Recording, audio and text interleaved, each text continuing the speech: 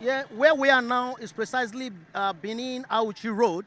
This is um, by uh, God is Good Monto, not too far from uh, Big Joe Moto. This road where we're standing now is linked Benin to Abuja. No, it's a federal road anyway. This has been the state for the past four or five years.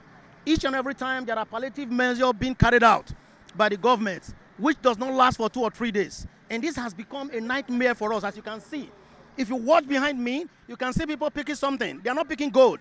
They are picking onions that fell down from the car. Not a particular, yes, car, truck was stuck here.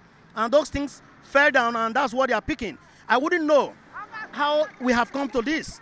This is a road leading a particular state via many other states to Abuja. It's a federal road, and it has been completely abandoned. And we are calling on the state government, in the first instance, being the place where the road is situated, to please come and do something. At least palliative measure can be done, like as it happens in Delta State. We all saw that in the television. It's quite sad that uh, this. Uh, it is sad that uh, every year we're going to experience this kind of challenge you can see on Ekpoma Road, most especially the roads in Edo Central.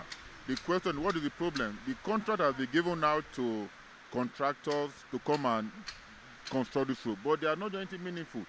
Cost of this challenge we have in Ekpoma is that one, people are unable to go to their offices, you know, in, in, in good time. Vehicles normally break down, and when there is a terrible hold up on this place, can last for close to about three or four days.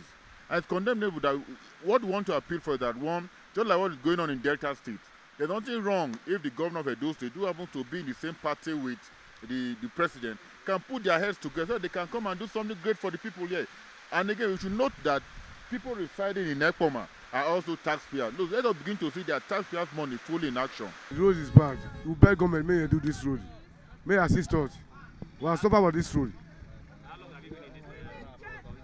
Throughout this year. Throughout this year.